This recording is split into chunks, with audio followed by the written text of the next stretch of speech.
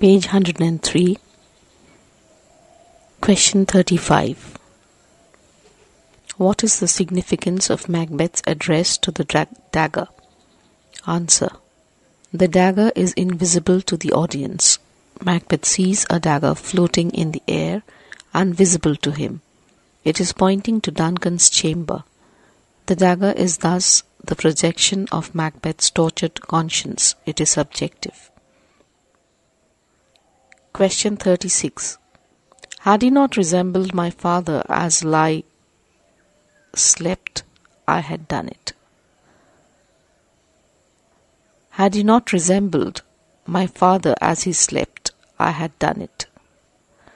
Give the context of the remark and bring out the character of the speaker as revealed in the line.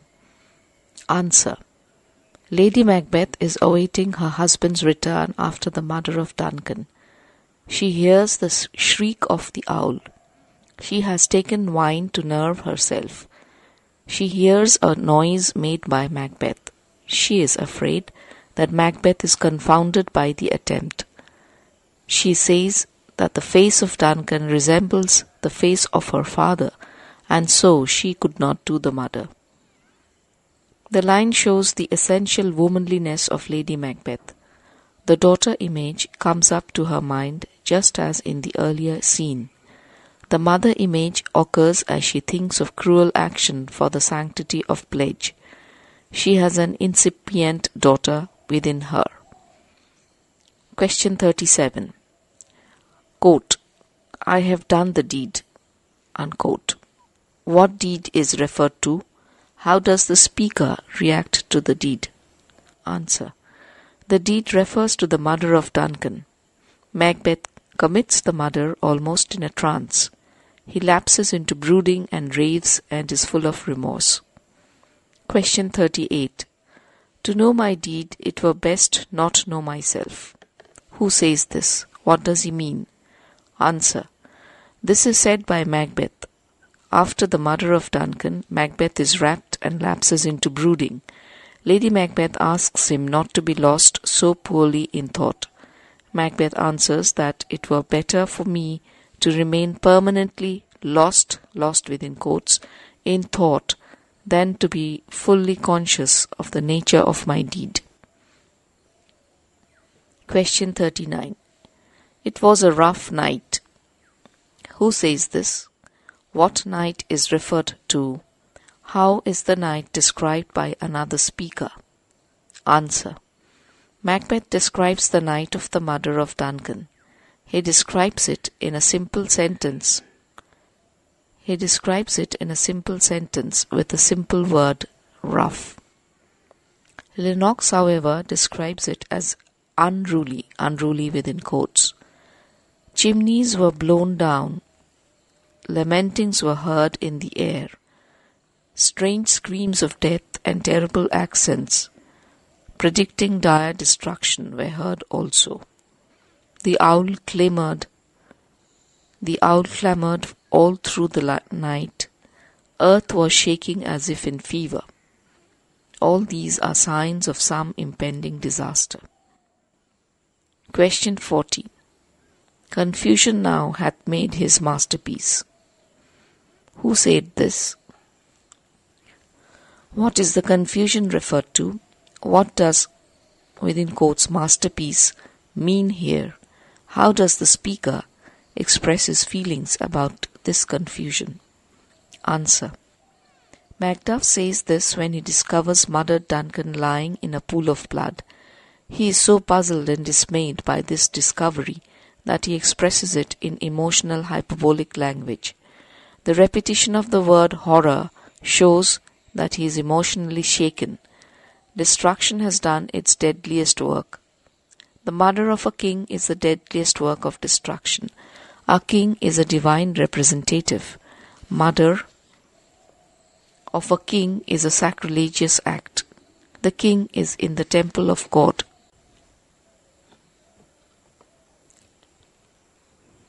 Page 104.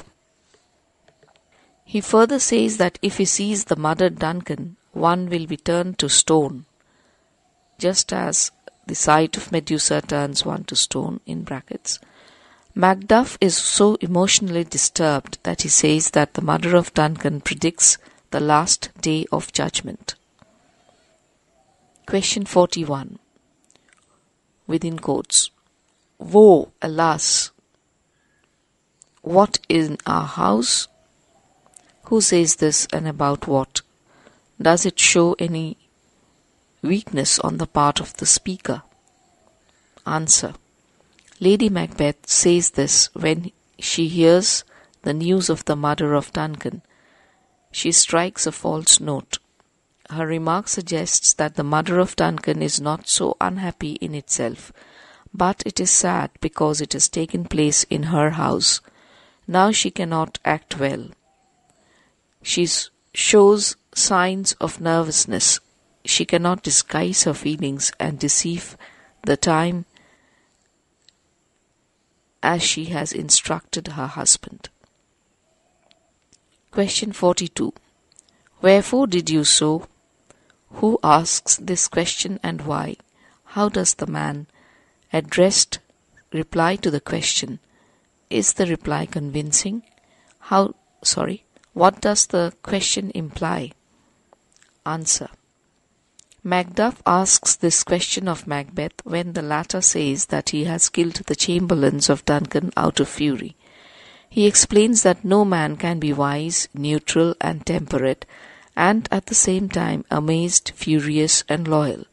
He saw Duncan lying in a pool of blood, and he was so amazed and furious that he could not control himself.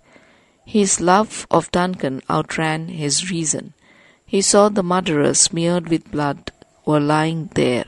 He killed them out of fury and impatience. He now repents his fury.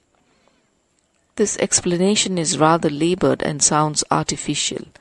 This is uttered in such violent and verbose language that its artificiality becomes prominent.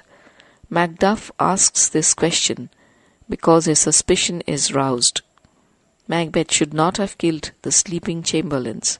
The chamberlains could have given them clues to the murder had they been alive. Question 43. And thence, against the undivulged pretence I fight of treasonous malice. Who says this, and what does he mean? What is meant? Answer. Banquo says this. He means that he will expose and fight the unknown designs of malicious traitor who has murdered Duncan. It is a solemn promise made by Banquo. Question 44. To show an unfelt sorrow is an office which the false man does easy. Who says this and to whom? What does the speaker mean? Answer. Malcolm says this to his brother Donalbain. Their royal father is murdered, all the lords are busy lamenting, their sorrows are feigned, but they who are Duncan's sons keep silent. False man can easily show their unf- show his unfelt sorrow. Question 45. What are the abnormalities seen in nature and the animal world on the night of Duncan's murder? Who do they portend? Answer. There were fierce tempests and rains, chimneys were blown down, and strange screams of death were heard. Darkness had pervaded the following day. This is unnatural. A falcon was preyed on by a mousing owl. Duncan's horses, most beauteous and obedient, obedient, turned wild, and horses did eat each other. Amazement and mystery pervaded the whole atmosphere. The unnatural act of murder has disrupted the natural and the animal worlds. Order in disorder symbolisms heighten the enormity of the crime.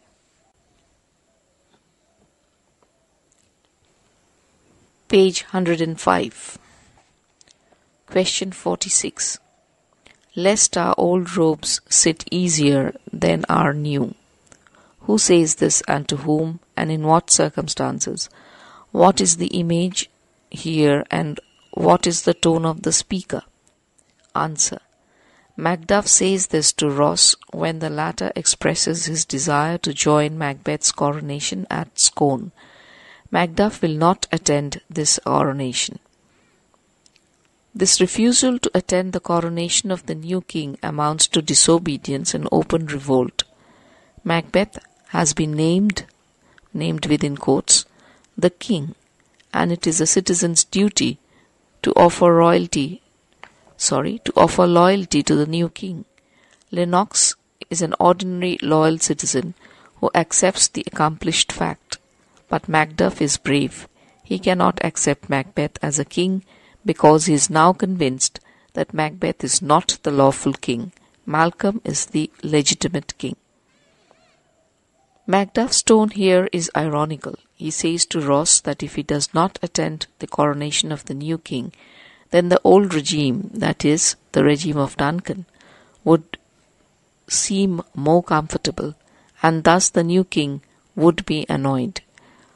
A common citizen cannot annoy a king and thus endanger his life. The imagery is that of the clothes. Old robes fit easier than the new robes. Question 47. But hush, no more. Who utters these words and in what connection? What does the speaker mean? Answer. Banquo says these words in his soliloquy. Banquo thinks that the predictions of the witches for Macbeth have been fulfilled. He has become king, so his prediction of the sorry, so the prediction so the prediction of the witches about him that he will be the father of kings may be a reality. Banquo hears the footsteps of men coming and so he stops. It may mean that Banquo tries to resist the temptation that seizes him. Question 48. Ride you this afternoon? Who says this question and to whom? What does he ask? Sorry, why does he ask the question? Answer. Macbeth asks this question to Banquo. He asks this question in order to he asks this question in order to know the whereabouts of Banquo in the afternoon. He asks the question suddenly. In the course of his other discussions, he manages tactfully to elicit from Banquo information about his movements. He plans his murder. Here, Macbeth has degenerated into a trickster, a mean, cunning fellow. Question 49 quote, My genius is rebuked. Unquote. Who says this? What is meant by genius? In what connection is this said? Answer. This is said by Macbeth in a soliloquy. He speaks about his fears of Banquo. He says that in the presence of Banquo, his spirit is rebuked. Here, genius, within quotes, means spirit. His passionate nature suffers by contrast with the restraint shown by Banquo. Within quotes, Banquo remembers his meeting with the witches. Question 50. Knots had all spent. Who says this? How does it reveal the mental condition of the speaker? Answer. Lady Macbeth says this. She says that nothing is gained but they have lost all. It reveals the depth of despair and sorrow.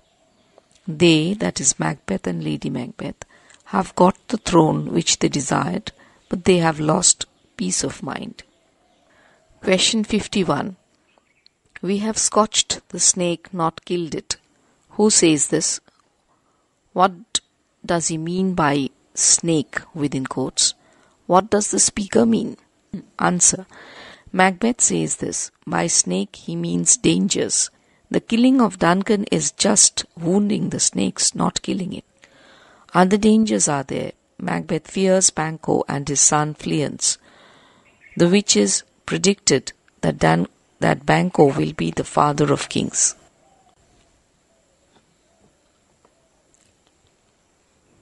Page 106, question 52. Duncan is in his grave after life's full, fitful fever. He sleeps well. Who says this and when? How does it reveal how does it reveal the state of mind of the speaker? Answer Macbeth says this Macbeth is T O R M E N T E D with tortures of conscience, moods of dis- depression and despair attack him, and these opposite moods come from the same source. Tortured conscience, conscience he now envies his own victim. In his death, Macbeth sleep well, but he cannot sleep. He has got the throne but lost his soul and peace of mind.